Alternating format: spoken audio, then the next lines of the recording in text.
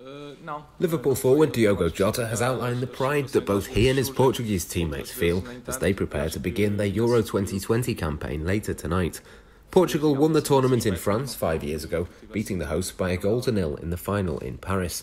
Back then, Jota was just 19, and that summer had signed for Atletico Madrid, a team he would never make a competitive appearance for.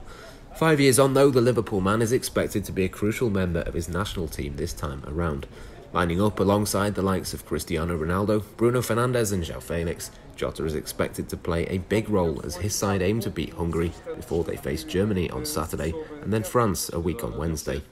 I think there is no pressure, but a huge pride for what we achieved in 2016, Jota said in a press conference held ahead of the current holders' opening game. Being champions of Europe makes everyone proud, and of course, the opponents are aware and really want to defeat the current champions, and our first opponents, Hungary, will play at home.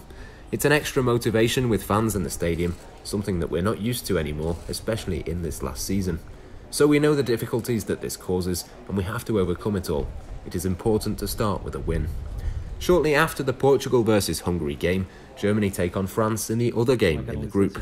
Liverpool fans will be keeping a keen eye across that one in the hope of seeing Florian Neuhaus in action. The Borussia Mönchengladbach midfielder is a player Liverpool have looked at and scouted, but the Echo understands that they're not necessarily going to target a midfielder this summer in the transfer window. Neuhaus has tough competition for places in the German midfield, where he'll compete with Toni Kroos, Ilkay Gundogan and Leon Goretzka for a place on the field. Neuhaus will be hoping to play against Jota on Saturday as Germany take on Portugal in the Allianz Arena in Munich.